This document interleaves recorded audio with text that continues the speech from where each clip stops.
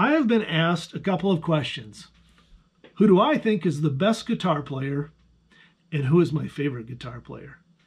Stay tuned and I'll show you how I answer that question. If you'd like to follow the process of turning a block of wood like this into a guitar like this, then you've come to the right place. And if you would like to see me give this guitar away, click subscribe, hit the bell.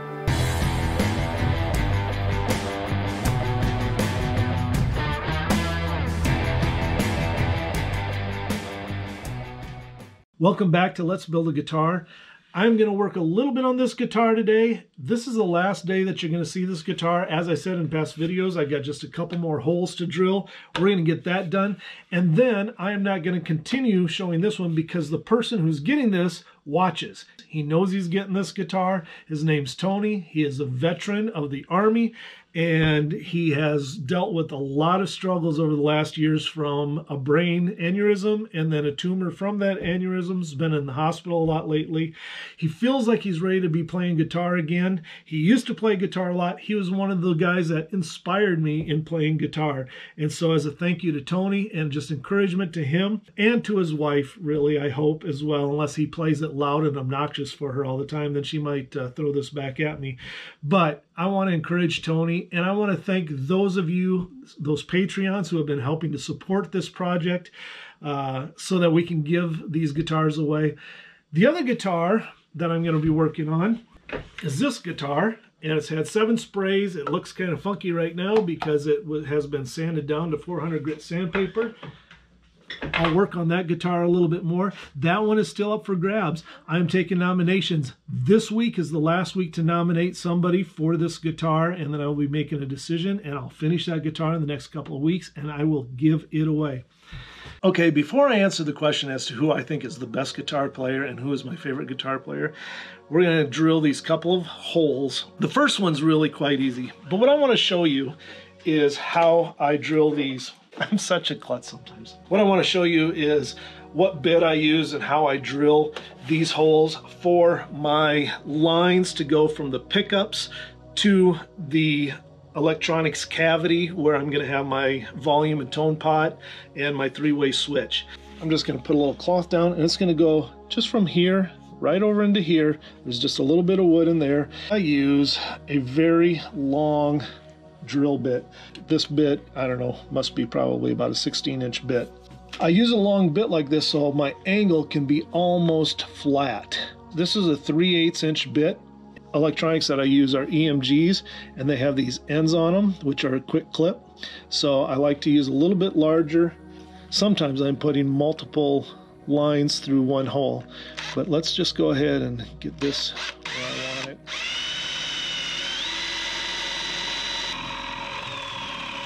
And in here, you'll see that it's just coming right through in here. That's where I want it. And the next one is going to come really close to it because I'm going to go, now I'm going to go from this side over to here. This is this one's a little bit more complicated. Once again, put just a piece of cloth over to protect. And I'm going to be running it essentially from here up to here. And I don't want it to be too too close to the front here. I want it to be more up here. That's why I need to keep it as about flat as I possibly can as I come through there.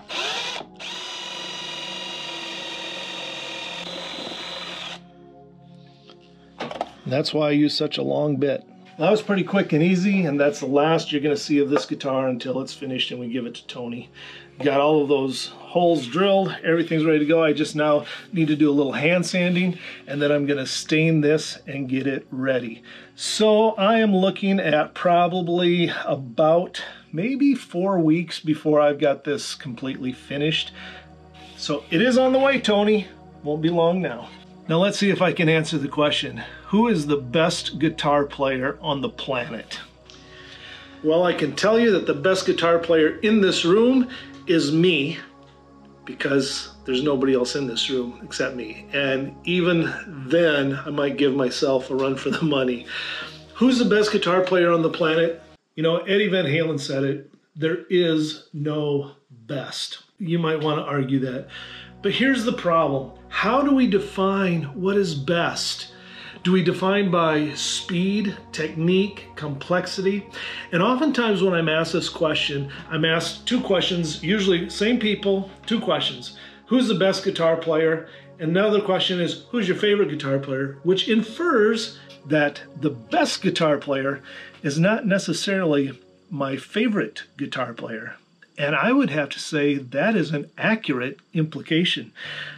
The nature of those questions speaks into the complexity who's the best, who's my favorite. Best guitar players are not necessarily the guitar players that I most enjoy listening to.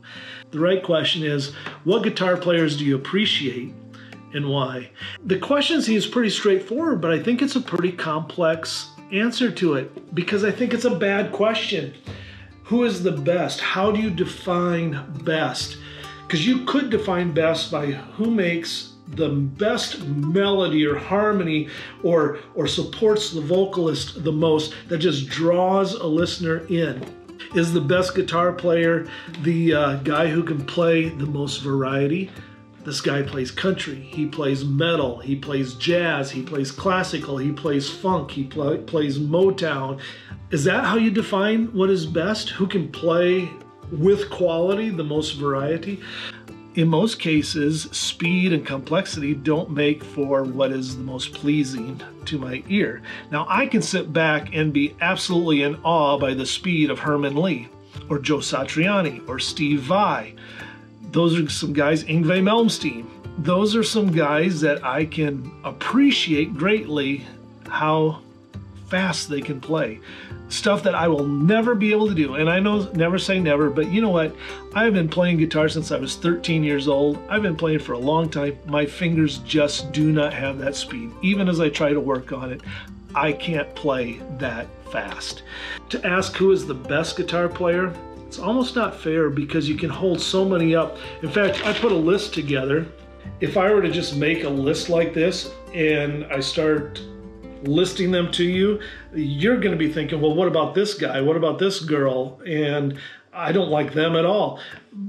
But here are some great guitar players. You know, you put a list together, and I think of Neal Schon. I think of David Gilmour. I think of Stevie Ray Vaughan, Eddie Van Halen, B.B. King, Jeff Beck. But what about Tommy Emmanuel? I love the way Tommy Emmanuel plays. My goodness, he is so good.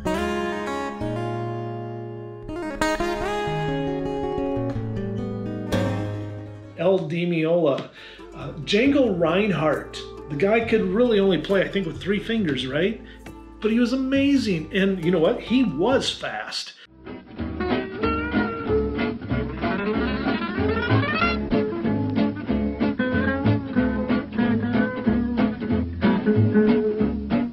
I don't like listening to Yngwie. Sorry, Yngwie, if you by chance watch this.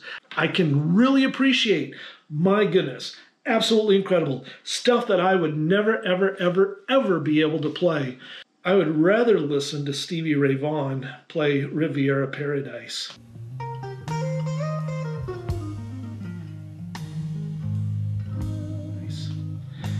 And Stevie Ray Vaughan's another guy that within him, in him himself, there is Stevie Ray Vaughan stuff that I will watch, and, and I am amazed by the fact that he can play so fast, both rhythm and lead at the same time. And I just go, wow, incredible.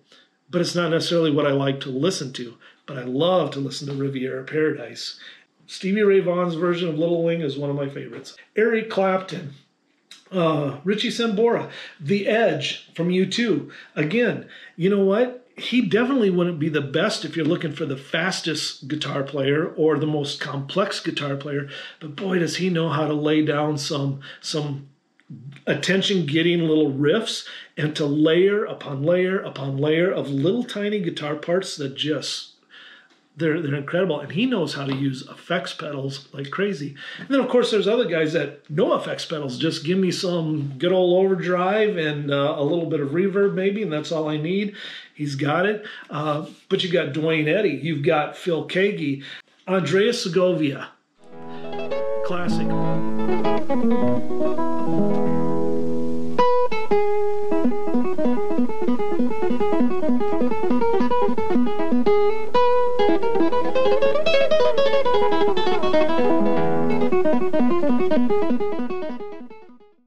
An incredible guitar playing. Uh, Jonny Lang, Jimi Hendrix, Jimmy Page, my goodness, Alex Lifeson. So many good guitar players. I think the problem is we think it's somehow a competition, like it's some sort of sporting event. And I'm afraid that if we treat music like a sporting event, uh, who's the fastest, who's the most complex, uh, you start to lose the heart of music because really music isn't about competition, it's about an expression. If you if you think of guitar playing like a competition, uh, it's really easy to want to give up. I see so many good guitar players and there have been times that I've sat with guitar players who are so phenomenal that I walked away almost wanting to quit playing because I felt like I will never match up to that. But if I sit down with my guitar and I'm in a room like this by myself and I start to play, I can just really love what I hear come out and I can enjoy it. It's an extension of a person, what they feel and how they're expressing themselves through notes. And that's why a guy like B.B. King, I think, is a good guitar player because he takes one note and he can make it sing in a way that just expresses something that's inside. But if it's an expression of the soul, then it's a felt expression and it's not just mechanics of playing notes, or you could just as well have a MIDI player. Remember the bad MIDI from the 1980s and 90s, some MIDI is getting a little bit better, but even still, MIDI lacks the heart of music. Maybe the better question is who do I most appreciate with playing guitar? After the first day of spraying, I noticed that there were a couple little pits here and there where the pores of the wood were just a little bit deeper than the surrounding areas. So I used a little CA glue. There's different types that you can use, but just a, like a CA hobby glue. Uh, and I put a couple of little spots that I just filled with that. At this point, if they're bubbled up plenty, I can use a razor blade and shave off carefully shaving off the majority of that bump. And then I can just sand off the rest. And once I get it sanded off and sanded flat, then I will continue to spray this. Again, this is after seven times of spraying. I will just sand these little rough spots off and I will continue to spray. You won't even see that those were there. And it's just a quicker way to fill in those spots.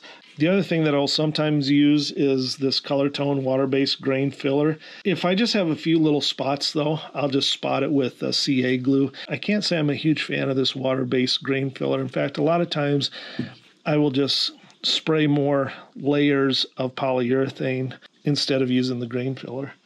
Just a personal preference, I guess.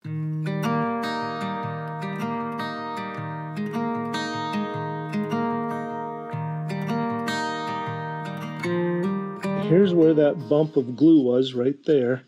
And you might be able to see just a littlest bit of it there yet. But if I just dampen here as well, this is what it's going to look like with the poly on it.